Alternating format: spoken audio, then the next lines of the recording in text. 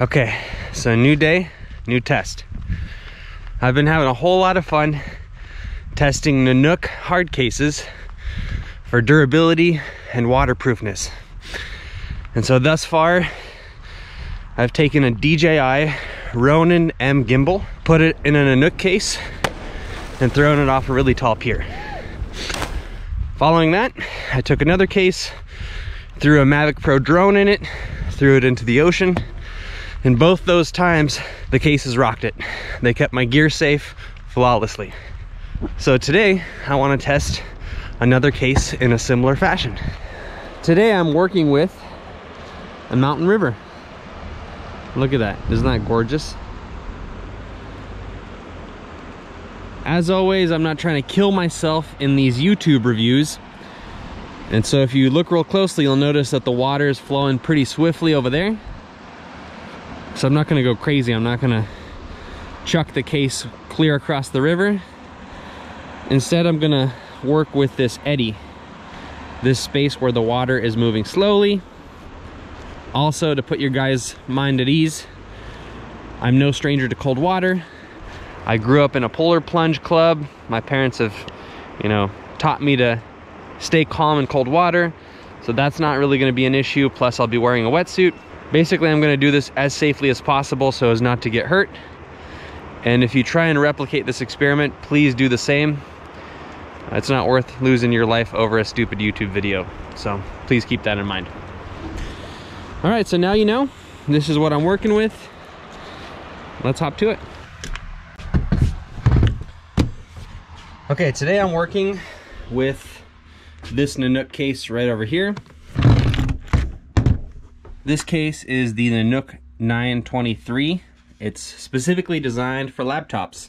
Laptops from 13 to 15 inches. And like all good Nanuk products, it's got a bunch of cool features. These latches are specifically designed to not be bumped open.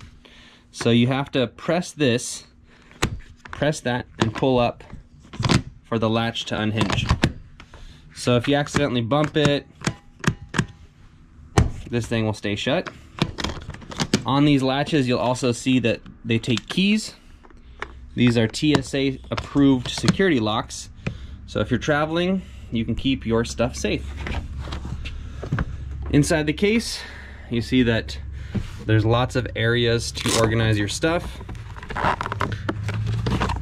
This top pocket has like a couple little pockets in it. Can fit notepads, potentially even a second computer. You got an area for pens, that kind of thing. In the case, there's another case, and this puppy is what houses your laptop. Let's give you a better view. So in here is the heart of the matter. Here's my 15 inch MacBook Pro. And as you can see, this thing works. Let's click on something. Boom. So this is my go-to computer. It's a few years old, but I don't have a different one. So I really hope it'll stay safe in today's experiment. Boom. They got more pockets here.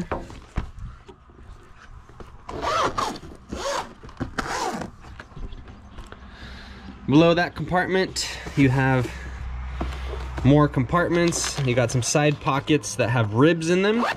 So you can stick fragile gear into these sections and they will have extra protection. Maybe like, you know, an expensive mouse or a power strip. My power strip, however, does not fit in that pocket. So it lives in this pocket. On this side, you have another pouch. Got some headphones in there.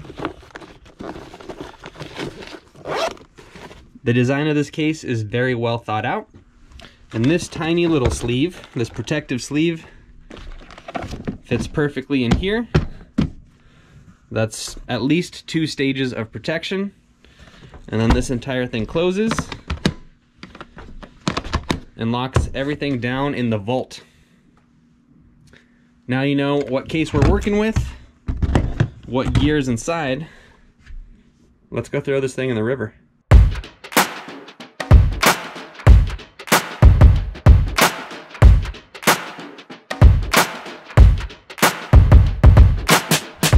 I got my wetsuit on. This is a super warm wetsuit that's fleece lined. It'll keep me nice and toasty.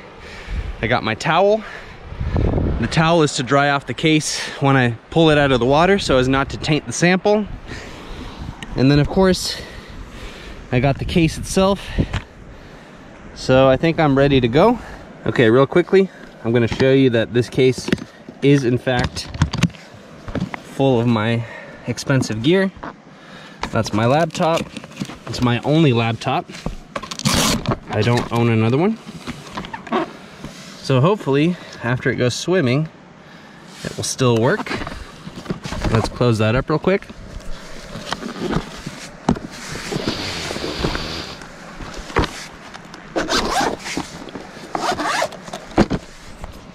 From here on out, I'm not gonna make any cuts so that nobody can question the validity of this video. Nobody can say, ah, Sergei cut it, his gear wasn't actually in it. So the experiment is simple. I'm gonna huck this case in the river, then I'm gonna go fetch it out, and then we'll see if my stuff is dry and it works.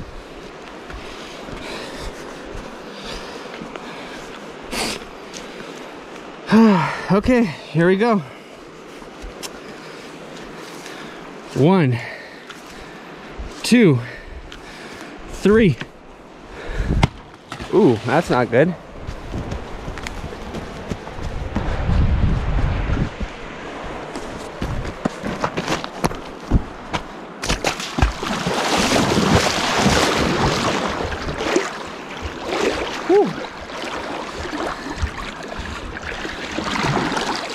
Gotcha.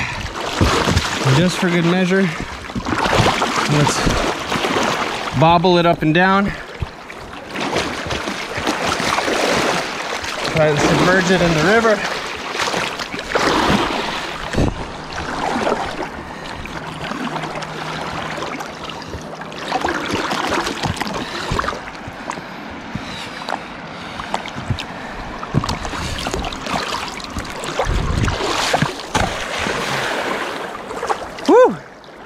It is brisk.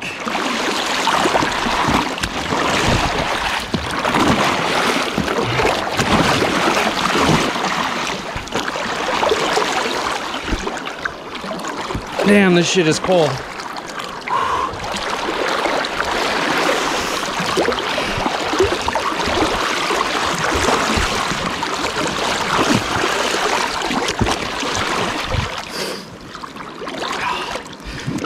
That's good enough for me. Now, as you saw, my left hand is not that good at throwing. And this case ended up hitting a log, which I really hope not to do. So hopefully that didn't damage anything inside the case, but we shall see.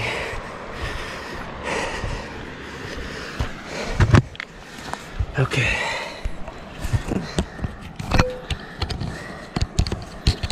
Let's put on a tripod and adjust it so that everybody can see. Okay, first things first, let's wipe down the case because we don't want any external water to taint the experiment. We don't want my wet hands to put water on the inside of the case because that won't be fair to the case.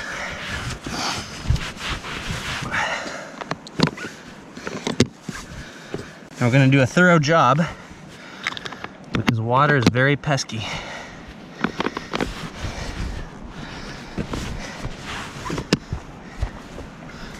All right, here we go. Ooh, look, I see a tiny bit of water, but nothing big. This very well could have occurred during the opening of the case. You know, overall, the case looks pretty darn good. Look.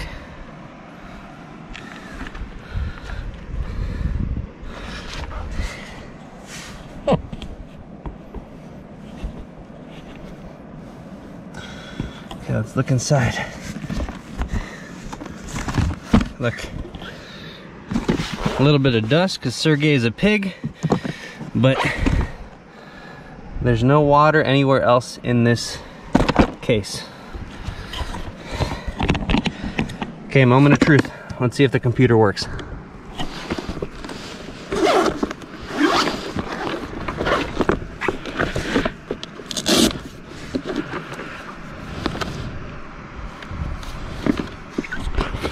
Computer seems to be intact.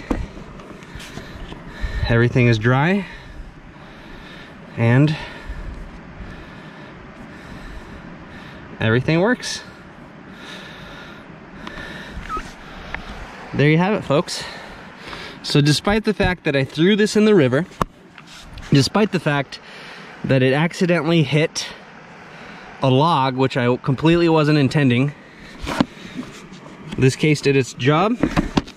My gear is safe. I can work remotely in places that I can river raft to. And that I think is an awesome thing. Thanks so much for watching. If you want to see more examples, more tests of Nanuk cases, I'll link to them in the description below. And remember to subscribe to my channel, Boutenko Films, for more videos that are just like this, but totally different.